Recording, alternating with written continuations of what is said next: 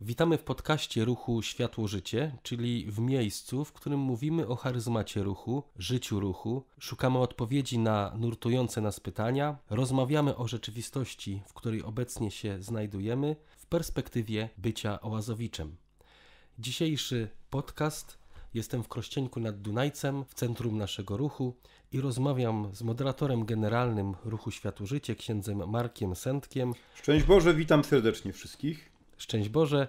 Rozmawiamy dzisiaj o pojęciu, które w ruchu pojawiło się całkiem niedawno. To jest pojęcie ekologii integralnej. Księże Marku, właśnie, ekologia integralna. Nie było tego chyba wcześniej w ruchu tak nazwanego, ale okazuje się, że jest. Czym jest ekologia integralna? Jak, co oznacza to pojęcie? Y, niezależnie od takiej fachowej terminologii, skąd ono się wzięło, Y, i dokładnie co może oznaczać, bo to, bo to nie jest jednoznaczne pojęcie, y, to chciałem powiedzieć y, w ten sposób, że my tego pojęcia ekologia integralna używamy na opisanie chrześcijańskiej wizji stworzenia, czyli relacji między Bogiem, człowiekiem i przyrodą. Y, a więc zarówno zwierzętami, roślinami, zasobami naturalnymi ziemi, jak woda, jak powietrze, jak różne bogactwa naturalne i próbujemy pokazać y, chrześcijańską, biblijną y, koncepcję stworzenia, tak jak ona jest zapisana właśnie w Piśmie Świętym, tak jak głosi ją Kościół katolicki. Y, ostatnio mm, y, na pewno wielu y, słyszało o encyklice Laudato Si. Pięć lat temu była ogłoszona przez papieża Franciszka. To jest pierwsza w historii Kościoła encyklika na tematy ekologiczne. Cała im jest poświęcona. Ale to nie znaczy, że od papieża Franciszka się rozpoczęło nauczanie Kościoła na temat ekologii bo y, papież Franciszek powołuje się i na Jana Pawła II, i na Benedykta XVI, a nawet czasami na Pawła VI. Niemniej jednak, wracając do y, istoty tego pytania, przez ekologię integralną rozumiemy chrześcijańską wizję świata, chrześcijańską wizję stworzenia. Czyli po prostu to ma być nasza chrześcijańska odpowiedź na to, co dzisiaj jest bardzo żywe w społeczeństwie, bo tematy ekologiczne są bardzo żywo dyskutowane, są bardzo modne. My chcemy pokazać, w jaki sposób Kościół głosi obowiązki człowieka względem przyrody, które nie niszczą chrześcijańskiej antropologii, czyli tego, kim człowiek jest, jakie ma zadanie w świecie. Ta antropologia chrześcijańska obejmuje nie tylko relacje człowieka do poszczególnych bytów przyrody, czy do Ziemi jako całości, ale ekologia integralna obejmuje też kulturę ludzką, relacje y, między ludźmi i duchowość również. Więc to jest bardzo szerokie pojęcie. Wiemy, że y, fałszywie opisana antropologia prowadzi do mm, jakichś no, y, wielkich tragedii ludzkości. Przecież y, pamiętamy określenie papieża Jana Pawła II, że głównym błędem ideologii komunistycznej to był błąd antropologiczny. I tutaj y, też mamy trochę do czynienia w obecnej sytuacji z takim niebezpieczeństwem, że przez błędy antropologiczne, czyli pokazanie złej relacji człowieka do przyrody, no, zrobi się człowiekowi wielką krzywdę, że y, y, wprowadzi się różne rozwiązania, które praktycznie y, będą na przykład zalążkiem pewnych totalitarnych ideologii. Można to zrozumieć, że ekologiczny styl życia, tak jak dzisiaj jest taka moda życia w stylu ekologicznym, że ona ma źródła w zasadzie już od stworzeniu świata. I tak, i nie, ja bym w ten sposób odpowiedział, bo dzisiaj y, mówienie o ekologicznym stylu życia niekoniecznie y, musi określać to, co zawsze Pismo Święte głosiło, a więc szacunek człowieka do przyrody, szacunek człowieka do Bożego stworzenia i obowiązki człowieka względem ziemi, która mu została dana przez Boga jako właściwie ogród uprawny, o który ma się troszczyć, o który ma zabiegać. Czyńcie sobie ziemię poddaną, jest taki nakaz Boży w Księdze Rodzaju, ale to jakbyśmy dokładnie zobaczyli kontekst tej wypowiedzi zawartej w Piśmie Świętym, to oznacza również bądźcie odpowiedzialni za tę ziemię. Więc y, bałbym się takiego określenia, y, że y, ekologiczny styl życia jest w Biblii zawarty, dlatego że dzisiaj przez to pojęcie ekologiczny styl życia rozumie się często taki sposób pojmowania miejsca człowieka wobec przyrody, który nie da się pogodzić z chrześcijańskim światopoglądem. Czyli nasz styl życia, powiedzmy segregowanie śmieci, to do czego jesteśmy zaproszeni przez... Jak najbardziej jest to, jest to chrześcijańskie, tak. To jest nawet nasz obowiązek tak, jako chrześcijan, żeby tak. dbać o środowisko, żeby żyć tak, żeby przyroda nie była zdewastowana, żeby następne pokolenia mogły z niej korzystać jak najbardziej. Troska o czystość wody, powietrza, czystość gleby, jak najbardziej, o zachowanie różnorodności gatunkowej, tak, ale pamiętając, że najważniejszym ze stworzeń na Ziemi jest człowiek. I tutaj, ponieważ łatwo niektóre rzeczy zrozumieć na przykładach, to odwołam się do takiego happeningu, tak bym to nazwał, który został niedawno przeprowadzony, że młody człowiek zaczepiał przechodniów i zbierał podpisy pod petycją o ochronę żabiego skrzeku. No i ludzie bardzo chętnie się podpisywali. On tam im tłumaczył, że ten skrzek jest zagrożony wyginięciem, że to jest jakaś odmiana rzadko występująca w przyrodzie.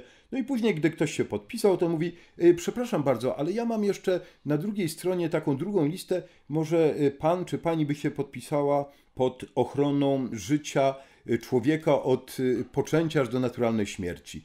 I tutaj reakcje były okazuje się już y, często zdystansowane. Ludzie nabierali pewnego y, dystansu wobec tego. Więc to pokazuje jakby paradoks dzisiejszej ekologii. Z jednej strony ludzie mają nastawienie ekologiczne, y, ale z drugiej strony ta ekologia nie obejmuje człowieka. I tu jest właśnie jakby to bardzo istotne, żeby zrozumieć ekologię integralną, że nam chodzi o właściwe umiejscowienie człowieka pośród innych bytów przyrody, że człowiek jest najważniejszym y, stworzeniem na Ziemi, bo został stworzony na obraz i podobieństwo Boga. I naturalnie chyba też trzeba zapytać, bo jesteśmy członkami ruchu Światło Życie, jesteśmy animatorami, oazowiczami i myślę, że nie powiem nic odkrywczego, jeśli nie, nie zauważymy tutaj, że to pojęcie tak naprawdę istniało w ruchu Światło Życie, choć nie było tak nazwane, bo przecież pierwsze tak oazy, jest. przyroda, obcowanie z przyrodą, wyprawy otwartych oczu, to co tak. na, na rekolekcjach oazowych pierwszego, drugiego stopnia przeżywamy, to w jakiś sposób już ojciec Franciszek promował, nawet powiedzmy nakazywał nam Oczywiście, jest to w ogóle unikalne, unikalna metoda. Ja nie znam drugiej takiej metody mm, wychowawczej, jak ma ruch światu życie, y, y, jeśli chodzi o wyprawę otwartych oczu. Ale zanim o nich powiem, to jeszcze chciałbym zwrócić wcześniej na inne pojęcie, które jest zawarte na przykład w tej y, części ogólnej podręcznika pierwszego stopnia oazy nowego życia. Tam jest mianowicie o atmosferze na oazie na każdej oazie rekolekcyjnej, która ma być środowiskiem y, y, rozwoju dla nowego człowieka. I to środowisko oazowe, klimat na oazie, y, związany z piosenkami, z odnoszeniem się do siebie, z sposobem spożywania posiłków, z kulturą osobistą itd., tak itd. Tak Ksiądz Blachnicki opisuje, odwołując się właśnie y, do takich pojęć z dziedziny y, przyrody, kiedy mówi, y, że podobnie jak skażenie środowiska powoduje zniszczenie świata roślinnego, świata zwierzęcego, tak może być skażenie atmosfery, w której człowiek żyje. I nam chodzi w razie o stworzenie klimatu, dla rozwoju nowego człowieka. Coś, co nie używa tego pojęcia ksiądz Blachnicki, ale coś, co się nazywa biotopem albo biocenozą. I ten klimat rozwoju y, stworzony dla y, nowego człowieka, czy dla dzieci bożych, bo też takie pada stwierdzenie albo jeszcze inne, klimat życia według ducha, to jest świętego Pawła, z kolei określenie, ma charakteryzować każde rekolekcje oazowe. I ja bym od tego pojęcia wyszedł. Natomiast rzeczywiście y, to, co to żeśmy wspominali, wyprawa otwartych oczu, Y, która zresztą swój pierwowzór to pewnie w różnych harcerskich doświadczeniach z młodości, jeszcze wtedy nie księdza, a Franka Blachnickiego, przedwojennych doświadczeniach, ale też, co warto wiedzieć, no jest zaczerpnięta wprost z Ewangelii. Przecież Pan Jezus, jak opowiada o Królestwie Bożym, jak opowiada o rozwoju życia duchowego, to się odwołuje do świata przyrody i uwaga, do kultury człowieka, do pracy na roli, y, do y, pracowników winnicy, do relacji międzyludzkich, ale też właśnie do ziarna, które musi obumrzeć, żeby wydało plon stokrotny, do sieci zarzuconej y, w jezioro, do rodzajów gleby itd., tak itd. Tak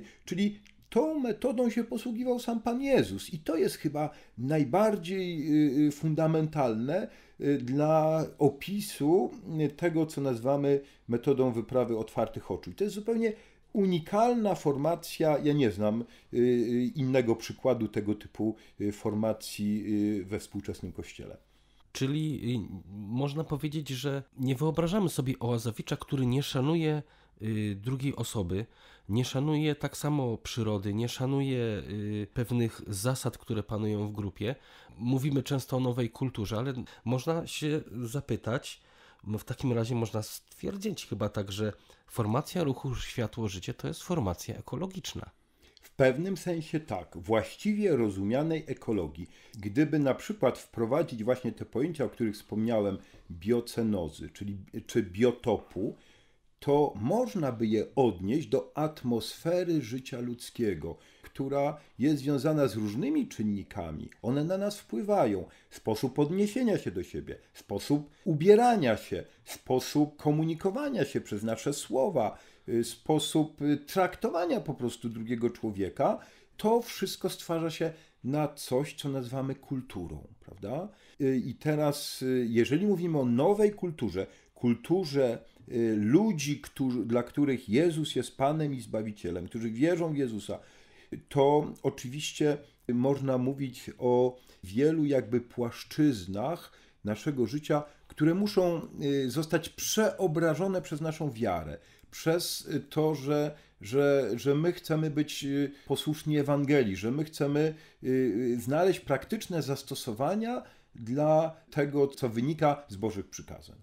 I w zasadzie no, można by dużo mówić jeszcze o tym, jacy powinniśmy być, szukać porównań ekologii integralnej z formacją ruchu Światło-Życie, ale też spotykamy się tutaj, bo to pojęcie ekologii integralnej ostatnio w ruchu zaczęło być dostrzegane przez y, budowę domu, ośrodka, y, który został nazwany Centrum Ekologii, Ekologii Integralnej. Tak, tak. I patrząc na też pewną reakcję w mediach społecznościowych, okazało się, że mm, jest pewne niezrozumienie tego, dlaczego budujemy coś takiego w centrum ruchu, co nazywamy Centrum Ekologii Integralnej. Może właśnie trzeba powiedzieć, czemu ten budynek ma służyć i co, co to będzie w ogóle za, za miejsce. No właśnie. Y, więc ja jeszcze nie, nie tak dawno też miałbym problem, żeby odpowiedzieć na to pytanie.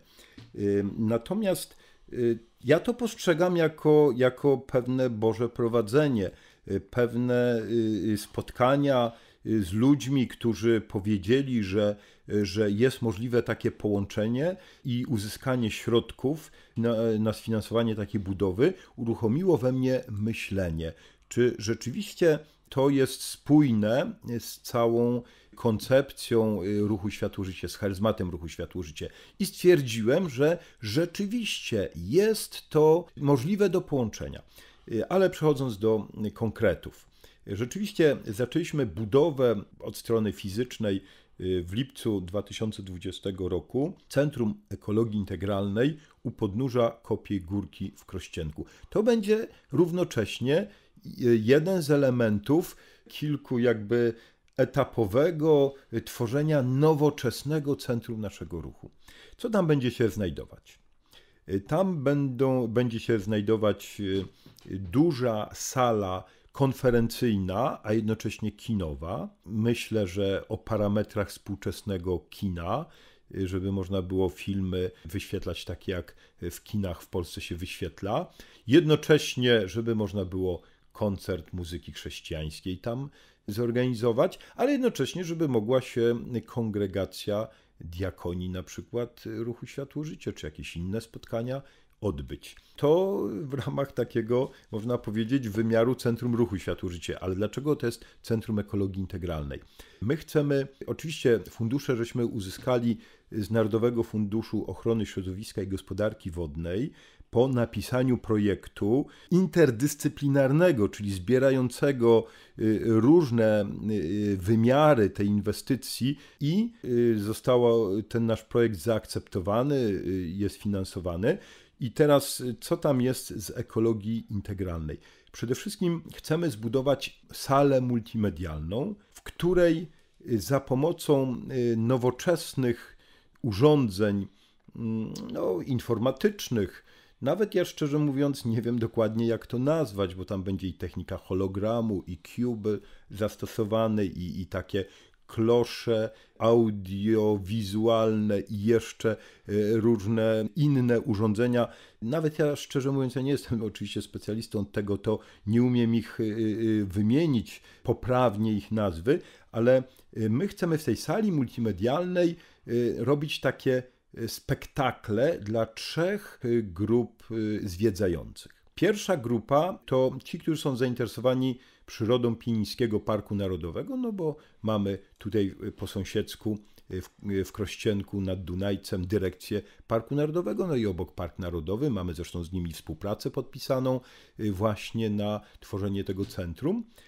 Druga grupa, którą chcemy zaprosić do zwiedzania, to, mm, no to właśnie y, zainteresowanych ekologią integralną, czyli myślę turystów, którzy nieraz nie wiedzą, co robić, y, bo, bo deszcz pada na przykład na dworzu, a przyjechali w góry, albo takich, y, którzy są zainteresowani, bo coś słyszeli już o ekologii integralnej, albo takich, którzy są zainteresowani po prostu ekologią i, i jeszcze nie bardzo wiedzą, co to znaczy ekologia integralna, ale, ale chcemy, żeby to był dla nich właśnie jakiś element duchowy y, też. I trzecia grupa, którą chcemy tutaj y, zaprosić, oprowadzać, to są po prostu ludzie ruchu Światło Życie, którym chcemy na tych samych urządzeniach pokazywać też charyzmat naszego ruchu. Oczywiście w sposób zupełnie inny niż do tej pory, nie podręcznikowy, ale, ale poprzez wykorzystanie tych nowoczesnych metod. I ta sala multimedialna to, to jest jeden jakby z modułów, które chcemy y, zwiedzającym zaproponować. Drugi z modułów to będzie na przykład jakiś film przyrodniczy czy religijny, właśnie w owej sali konferencyjnej y, czy kinowej, o której mówiłem. Kolejnym modułem to y, mogą być jakieś zajęcia warsztatowe. Też pod salą tą kinową będzie taka z możliwością dzielenia na dwie taka duża sala, która będzie różne możliwości warsztatowe zapewniać. I wreszcie nad salą multimedialną y, będzie ogród biblijny, będzie otworzona oaza Engaddi z nad Morza Martwego, a więc Ziemia Święta i w tej oazie y, będą rośliny z y, Bliskiego Wschodu, z Ziemi Świętej, no bo, no bo my jesteśmy ruchem oazowym, bo dla nas pojęcie oazy jest bardzo ważne, a z, tej, z tego grodu biblijnego, z tej oazy będzie bezpośrednie wyjście na nasze oazowe ścieżki, na drogę nowego człowieka y, z naszymi już istniejącymi rzeźbami, tablicami, które też mają, są jakimś y, sposobem pokazywania charyzmatu ruchu, formacji ruchu w nowoczesny sposób. Jeszcze innych kilka będzie modułów, do których chcemy zaprosić ludzi. A więc, reasumując, czym ma być to Centrum Ekologii Integralnej? To ma być z jednej strony Centrum Ruchu Światłości, a z drugiej strony centrum jakby, w której chcemy przeprowadzać preewangelizację, w której na różnych poziomach chcemy zaprosić ludzi do zastanowienia się, do refleksji nad na przykład duchowymi wartościami związanymi z obserwacją przyrody, z, z, jakimś, z jakąś no, refleksją nad tym, y, jaką rolę w świecie, w kosmosie pełni człowiek, y, jakie są właśnie relacje między człowiekiem a różnymi innymi bytami stworzonymi. To wszystko chcemy w ramach tego Centrum Ekologii Integralnej Y, robić. I wspomniałem, że mamy podpisaną umowę z Pienińskim Parkiem Narodowym, mamy też z Papieską Akademią Teologiczną i z Politechniką Warszawską, bo cały dom, jak na budowlę dofinansowywaną przez Narodowy Fundusz Ochrony Środowiska i Gospodarki Wodnej, będzie sam sobie wytwarzał energię poprzez panele słoneczne i pompy ciepła z powietrza będzie, y, będą pobierały ciepło i będą przetwarzały je na energię elektryczną, więc to będzie też y, w tym, w takim aspekcie y, też jakiś pionierski budynek, tu przynajmniej na terenie Krościenka i okolic. Więc myślę, że to wybrzmiało z tej wypowiedzi, ale, ale może trzeba to powtórzyć. To jest budynek, który będzie budynkiem otwartym tak. otwartym, y, w zasadzie stojącym nas zaraz przy głównym szlaku beskidzkim, otwarty dla turystów, dla osób, które y, tutaj przyjeżdżają, y, nie tylko dla ludzi ruchu Światło Życie. Nie będzie więc to dom zamknięty, dom rekolekcyjny. Mówiąc językiem powiedzmy pobożnym, służący preewangelizacji, a tak naprawdę też dobrej promocji tak, tak ruchu. Tak, tak, oczywiście. Ruchu, bo każdy, kto tutaj przyjdzie, rozumiem, że dom będzie domem, który będzie otwarty w tym sensie, że y, będzie mógł przyjmować grupy. Tak, on jest na to nastawiony. Tam nie ma żadnych miejsc noclegowych. Tam jest stołówka, będziemy mogli ich nakarmić, kuchnia, natomiast y, ich będziemy zapraszali na przykład klasy całe, y, czy to z katechetą, czy czy, czy właśnie z wychowawcą, czy y, z nauczycielem przyrody, czy, czy jakimiś innymi jeszcze y, nauczycielami. I właśnie w tych aspektach, o których mówiłem, będziemy chcieli, w zależności od ich zapotrzebowania, jedną z tych trzech, a mamy nadzieję w przyszłości jeszcze będzie więcej grup docelowych, które będziemy tu zapraszać, będziemy chcieli, no właśnie, albo promować ruch, albo promować chrześcijańską wizję świata, albo promować Pieniński Park Narodowy. Więc szerokie spektrum gości tu chcemy zaprosić. To jeszcze by się pewnie y, przydała dobra baza cateringowa. O, będzie na pewno stołówka, będzie na pewno kuchnia, a być może, a być może y, kuchnia, no w zależności od potrzeb, y, czasami będzie wykorzystywała też usługi cateringowe, oczywiście tak naprawdę przez wiele lat się mówiło, że brakuje w, ruchu, w centrum ruchu Światło Życie w Krościenku nad Dunajcem takiego miejsca do wspólnych spotkań. Ojciec y, Franciszek, gdy to y, budował, no to był zupełnie inny ustrój polityczny i, i, no, i warunki mamy bardzo skromne spotkania, tak. A tam mamy choćby w tej sali, w tej sali kinowej na 120 czy 130 osób w porządnych warunkach konferencję można będzie odbyć. Nie mówiąc o tej sali warsztatowej, że tam też będzie można y, na krzesełkach y, no, jakieś zajęcia zorganizować, y, więc jak najbardziej to też ma takim celom służyć.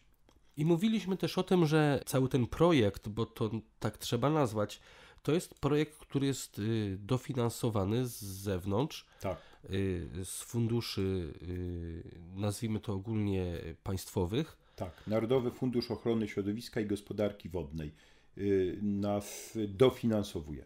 Ale dofinansowanie oznacza to też, że mamy pewien wkład nasz, Oczywiście, własny. Tak, ten wkład własny.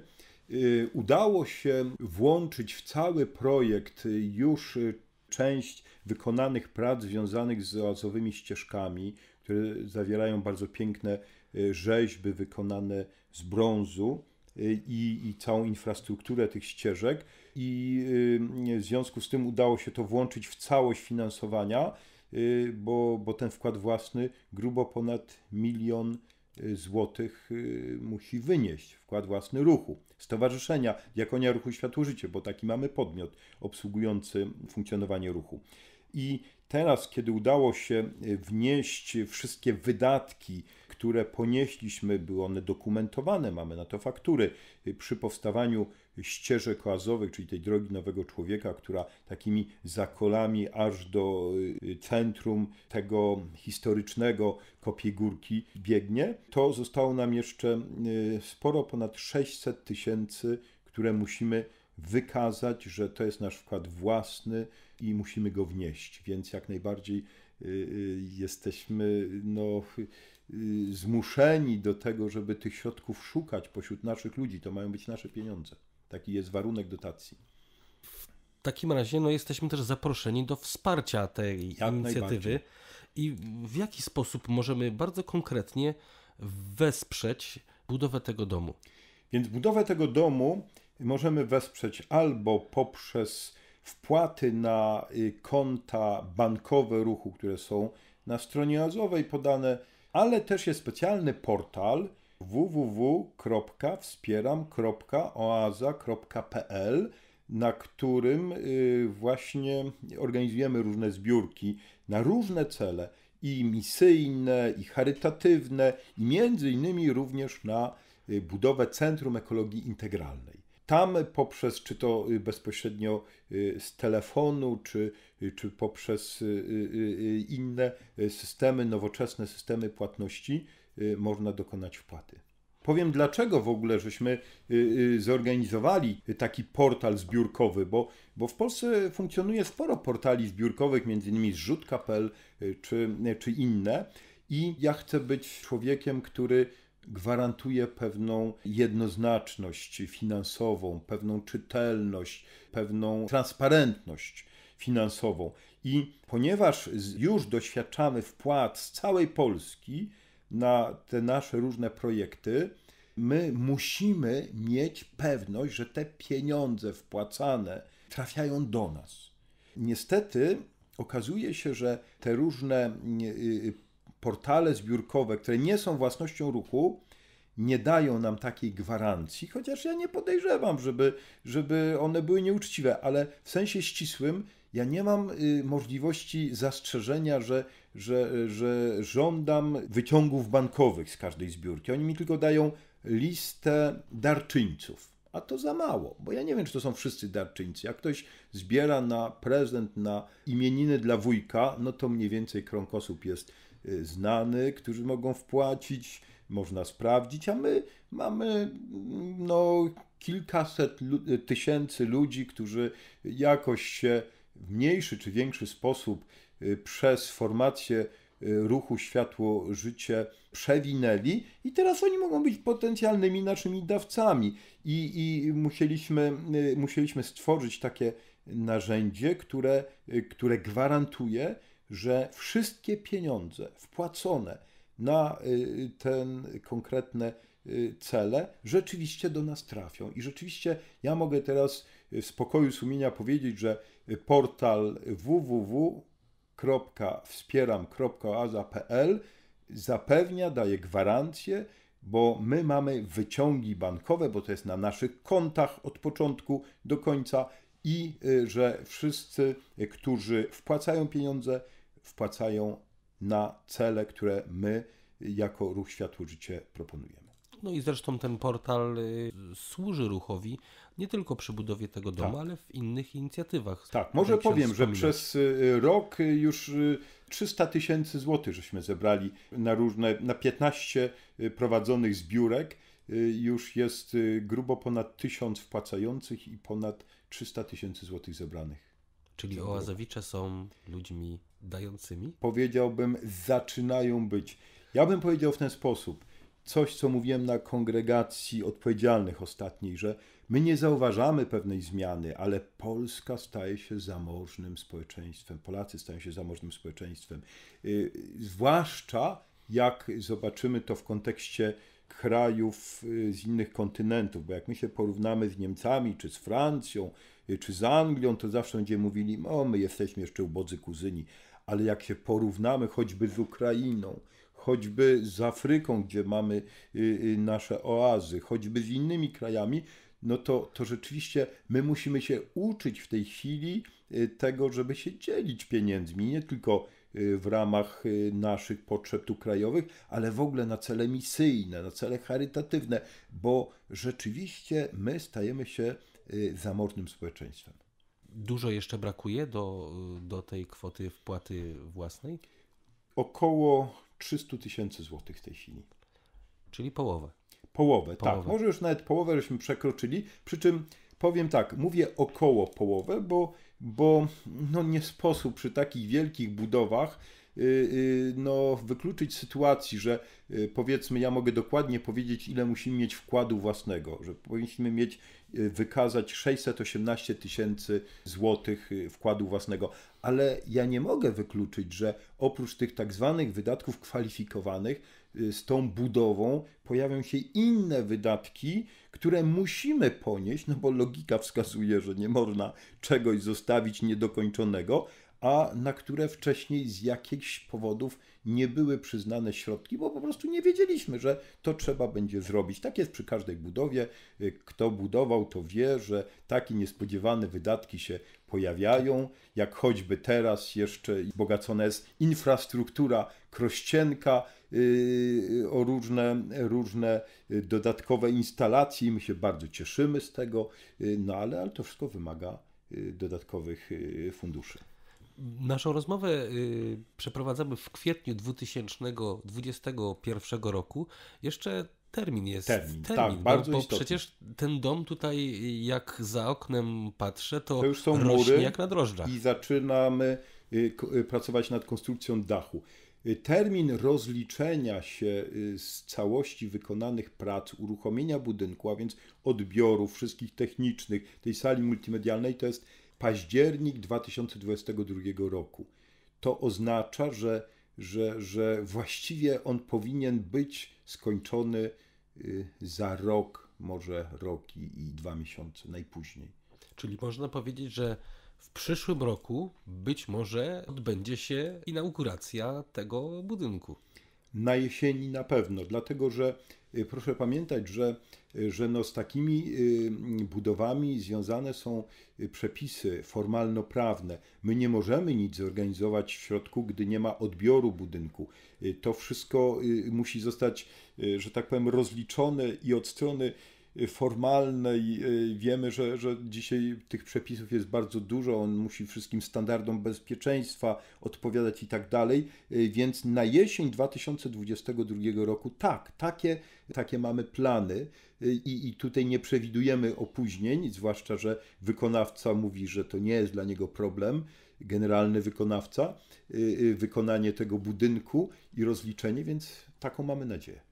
Tutaj jeszcze dopowiem, że można śledzić na bieżąco postęp budowy tak poprzez nasz portal oaza.pl, gdzie bardzo regularnie. Mniej więcej co tydzień albo dwa tygodnie tak, zamieszczamy. Publikowana jest zdjęć. dokumentacja fotograficzna i można też zobaczyć budowę od samego początku. Przypomina mi się pewna y, historia, którą w ruchu naszym wspominamy często, jak swojego czasu ksiądz Franciszek poprosił o węgiel dla Kopiej Górki.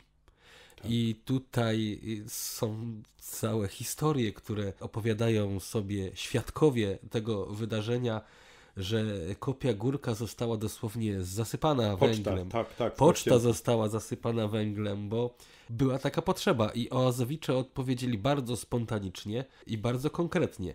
Dzisiaj już żyjemy w czasach, w których nie trzeba y, do Krościenka przesyłać węgla ani cegieł na budowę Y, budynku. I myślę, że to nasza rozmowa to jest też pewnym apelem o to, żeby y, jeśli chcemy, żeby y, ten budynek, znaczy na pewno tak będzie, że w 2022 roku ten budynek. Tak, musimy będzie. go oddać, rozliczyć, bo inaczej byśmy musieli zwracać pieniądze. To, to jest oczywiste. Myślę, że jest to pewnym wyzwaniem dla nas. Oczywiście, że tak. Przy czym ja bym to powiedział w ten sposób. Jeżeli zrozumiemy y, ideę, że jest to jak najbardziej y, rozwinięcie charyzmatu ruchu światło-życie, że jest to nowoczesny sposób jakiegoś przekazu treści duchowych, bo nam cały czas chodzi o przekaz treści duchowych, o to, żeby przyroda pomagała nam w rozwijaniu życia duchowego. Jeżeli to zrozumiemy, to myślę, że, że będziemy otwarci na tego typu y, wyzwania. Mówi się ostatnio przy okazji setnej rocznicy y, urodzin naszego założyciela, y, księdza Franciszka Blachnickiego, że bardzo jest to wartościowe dzieło, które zaczął. I nawet pod naszym adresem jako spadkobierców y, duchowych tego dzieła pod adresem Ruchu Światło Życie kierowane są takie różne wypowiedzi, że warto to dzieło kontynuować, choć niekoniecznie literalnie trzymając się metod z lat 50., to y, kiedy słyszę takie właśnie postulaty wobec nas, to mówię, niektóre rzeczy to warto bardzo literalnie potraktować, a rzeczywiście w niektórych sprawach warto rozwinąć pewne cechy charyzmatu ruchu. I myślę, że ksiądz Franciszek Blachnicki się bardzo cieszy z nieba, y, że jak widzi, y, y, no właśnie, twórcze rozwinięcie jego idei, które może przyczynić się do ewangelizacji, do formacji, do tego, że też ta chrześcijańska formacja nie będzie na marginesie spraw, które interesują współczesnego człowieka, bo to jest też ten wymiar.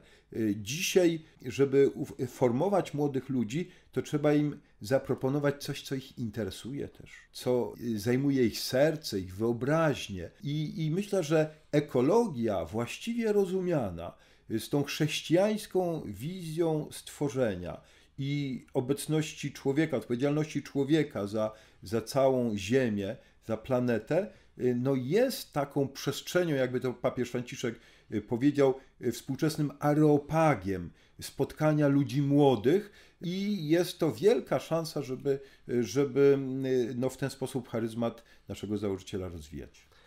I tym sposobem w zasadzie wróciliśmy do tego, czym rozpoczęliśmy naszą rozmowę, do pojęcia ekologii integralnej. tak. Mamy w ruchu wiele pojęć, które są nasze i które my tylko rozumiemy. Y, mamy swój wewnętrzny język.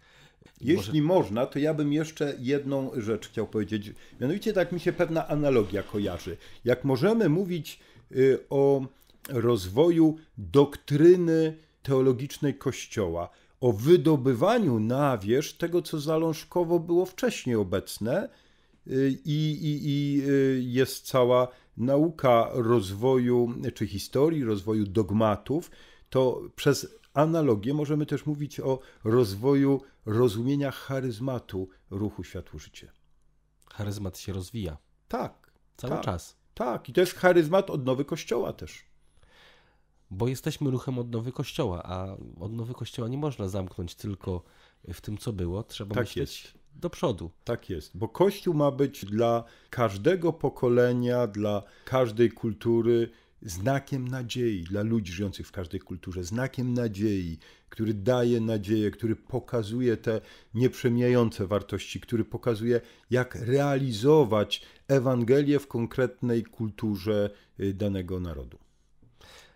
No i pozostaje nam tylko życzyć, żebyśmy y, byli takimi ludźmi, y, byli takim ruchem, który patrzy na człowieka, który go docenia, który widzi wielką wartość w tym, kim jesteśmy? Myślę, że tak. Księże Marku, bardzo dziękuję za rozmowę. Ja również serdecznie dziękuję. Y, za to y, spotkanie tutaj. Dziękuję wszystkim, którzy słuchają naszych, naszych podcastów i, i zapraszamy na kolejne. I zapraszamy do Krościenka. I zapraszamy do Krościenka. Szczęść Boże. Szczęść Boże.